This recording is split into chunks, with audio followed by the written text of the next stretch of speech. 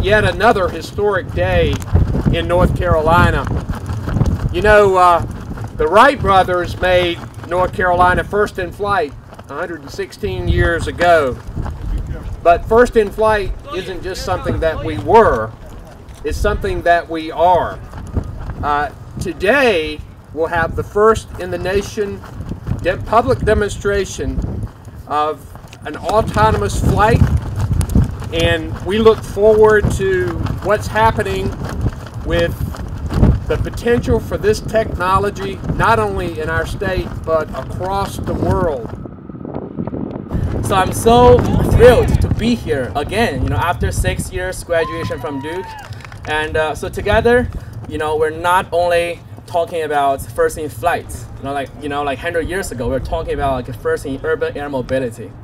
So uh, with the support, with the help of NCDOT as well as FAA, you know, we're standing here to witness that. And we're about, this is the very beginning of transforming the two-dimensional transportation system into 3D.